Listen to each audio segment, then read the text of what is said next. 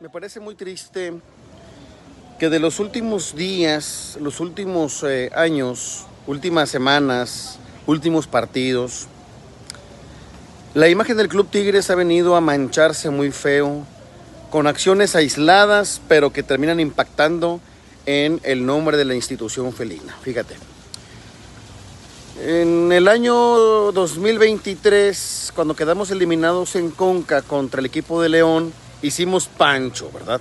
Pancho. Cada vez que perdemos una final, perdemos, hacemos Pancho. Hicimos Pancho contra el América allá en el 2014, cuando nos expulsaron a tres jugadores. Pancho, ridículo.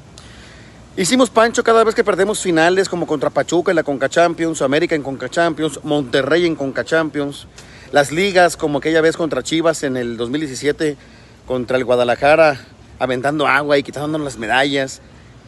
La imagen del Club Tigres se ha visto golpeada por eh, un equipo que intenta ser grande, un equipo que hace las cosas de bien.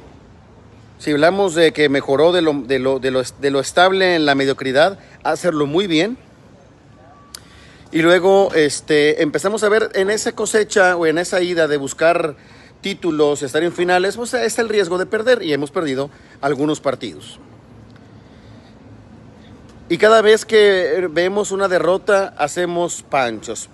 Ya le dije algunos escenarios. Tiempo reciente, hicimos pancho cuando perdimos contra el Atlas de Guadalajara por alineación indebida. Igual en la cancha también lo perdimos. Todo el tiempo hacemos panchos. Somos un equipo que solo sabemos ganar, pero no sabemos perder. Y ahora en este clásico, que se sienten, eh, no sé, robados ¿De qué, mi hermano? O sea, tenemos la ventaja de dos goles. ¿De qué, mi hermano? Última jugada, tiro de esquina. La ventaja es el que defiende. Defendiste muy mal, cayó el gol. Mandan un comunicado diciendo, haciendo alusiones a que nos robaron y que nos sentimos agraviados cuando Nahuel Guzmán sacó un láser de manera increíble. Muy permisiva la directiva del equipo de Tigres porque lo hace en el palco donde estaban los directivos. O sea, ya lo habían visto y lo dejaron. Y honestamente me da mucha tristeza que la imagen de Tigres se está viendo muy, pero muy, pues muy manchada. De, ser un equipo ricachón, que hace panchos, que hace cosas absurdas. Y hoy la noticia no es el clasicazo que tuvimos, el partidazo, los goles de Bruneta, la acción de André Pierre Guignac. La nota es que Nahuel Guzmán sacó un láser bochornoso. Peor todavía, aquel que diga, Nahuel Guzmán puede hacer lo que sea. No, señor, no es cierto. No, no, no. Ya no digamos tonterías. Eso ya raya en lo absurdo, en lo ridículo, en lo infame. Es infame. Lo haga quien lo haga. Eso era, es un, dicen algunos, es normal que pase lo del láser. Sí, que lo hagan aficionados. Un jugador, perdóname. El tema es que yo creo que Nahuel Guzmán André Pierre Guignac ya están por encima de la institución.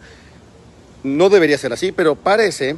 Nahuel Guzmán puede meter un láser y echárselo a los ojos y no le van a hacer nada. André Pierre puede salir a reclamarle a todo mundo y no le van a hacer nada. Le reclama a Siboldi y Siboldi agacha la cabeza, agacha la cara como que perdón su majestad por sacarlo de la cancha, por cambiar la forma de jugar. Un equipo grande sabe ganar y sabe perder. En este caso ni perdimos, y seguimos haciendo panchos. Nahuel Guzmán tiene un legado espectacular con el equipo de Tigres. Se ha manifestado constantemente en búsqueda de ayudar a los niños. Es una persona inteligente, es una persona muy bien educada. Bueno, educado cuando le conviene, cuando quiere, porque ya son varias cosas y ya rebasó todo tipo de, de cinismo de lo que hace en la cancha. Empezamos con el tema de que baila como pingüino. Un día le dio un golpe a un jugador de Pumas el chileno este que luego llegó a la América y no pasó nada con él. Se me fue el nombre. Le pega en el poste. Le dio una patada al Mudo Aguirre en el Santos Laguna. Le dijo gordo Cardona. O sea, él mismo dijo en una conferencia de prensa hace tiempo cuando se hace, se está haciendo o se está generando una mala imagen de Nahuel Guzmán. No, se está generando la imagen que tú estás generando, Nahuel.